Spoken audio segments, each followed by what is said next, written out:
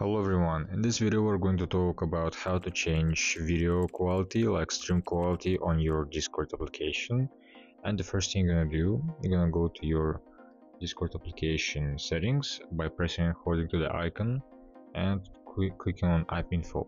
So right here you're gonna make sure that you gave all permissions because it can limit the work productivity of the application if you didn't.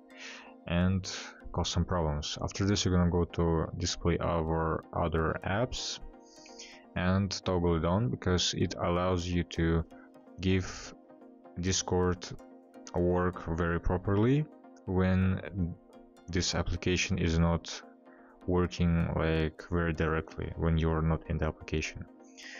And after this, you're gonna also allow picture in picture. So after this, your problem more likely should be solved. And if this video is helpful for you, please make sure that you like it and subscribe to the channel and I will see you very soon.